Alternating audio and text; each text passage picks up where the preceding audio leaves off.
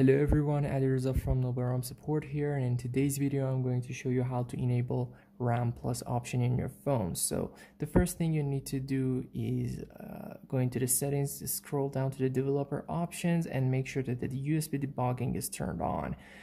The second thing is uh, you need to install a SetEdit application on your phone which I, uh, I will put the link down below in the description. Then uh, connect the one side of the cable to your laptop or PC and the other side to your phone. And now let's switch the screen uh, to the PC for other steps. Okay, the first thing you need to do is to um, open PowerShell and before doing anything further, you need to make sure that the ADB drivers are well installed on your laptop or PC. I will uh, put a link for the tutorial down below so you can follow and make that okay as well. Uh, now I'm going to type ADB um, devices. Now a message on your phone will come and asking for you for the permission. You will allow it and then devices will be listed in here. After doing so, uh, now you need to uh, copy and paste this command in PowerShell and enter. Now you're fine. Let's go back to the phone's screen. Now in the application, you need to change system table into global settings and add a new settings. Uh, okay, now you need to uh, add a RAM expand size uh, in the new settings, save the changes.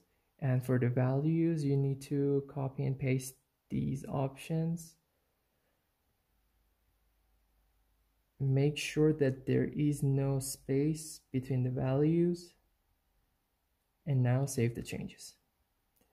Now uh, we need to copy this RAM expand size list. Again add a new settings save the changes and again in the list copy these values. Make sure again that there is no uh, space between these um, values. Save the changes. And now reboot the phone. Okay, now that my phone just turned on, uh, you need to go into the settings, scroll down to the uh, device care, go into the memory section, and you will see the RAM Plus option like the one I have in, in here, and I can choose between these options whatever I choose I need to restart the phone for it to be applied on the phone.